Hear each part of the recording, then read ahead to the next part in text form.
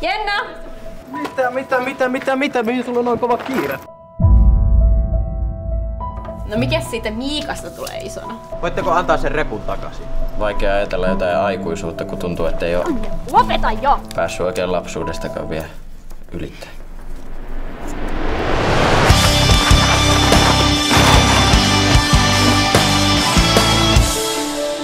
Herra Jumala, mitä sulle on tapahtunut? Jenna, odota! Mitä sä haluut musta?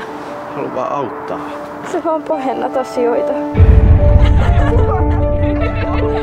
Sua vihaa vaan itteen. Mitä, että mä syrjitän? Mikä sun ongelma oikein on? Ei kuulu sulle!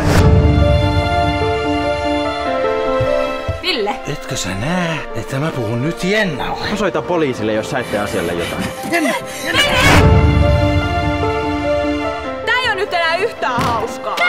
vittu siltä, että mulla on hauskaa? Anni mitä helvettiä! On hullu! Jos sä haluat kuolla, niin kuolla siis saatana yhdessä! Äidin piti kuolla ennen kuin mä opin, että kaikki ei ole mun vastuullani. Ja silloin kun asiat menee pieleen, niin se ei välttämättä ole mun syytäni. Mä jouduin maksaa siitä opista liian kovan hinnan. Mä toivoisin, että saisit pikkusen viisaampi.